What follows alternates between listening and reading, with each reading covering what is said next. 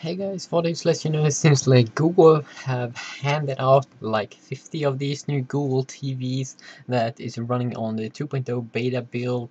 It is running like a modified version of Android 3.1 and it, it's codenamed Fish Tank and it's only like available for developers right now and uh, when I say that Android 3.0 3.1 I mean it's um, it's it's obviously running honeycomb and it is bringing a more like a desktop experience to your Google Chrome web browser when you're web browsing in your Google TV and there are also some new stuff like a remade television presentation and also that the UI is now including a clock application and also live TV features. So when you're doing something else you still like see the TV in the background and seems like the geeks here seems to enjoy that much.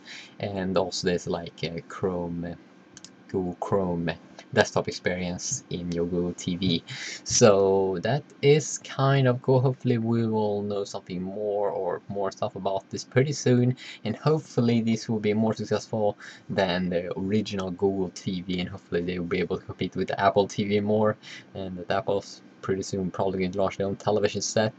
That is going to be you know some good competition there. So both and you know competition is good because then they make better products for the consumer. So yeah see